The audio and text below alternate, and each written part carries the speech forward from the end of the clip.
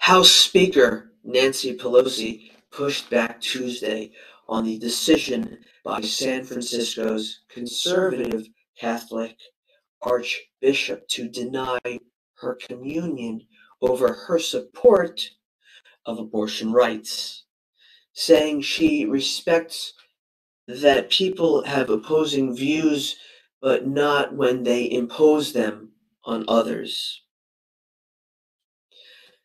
The California Democrat says she comes from a large family with many members who oppose abortion.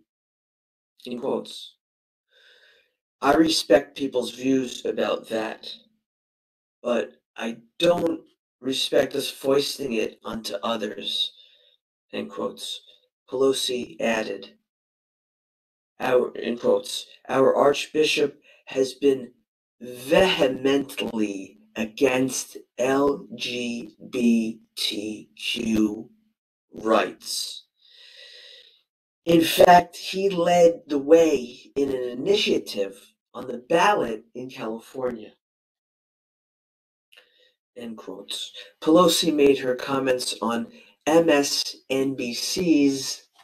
Morning Joe. Next news.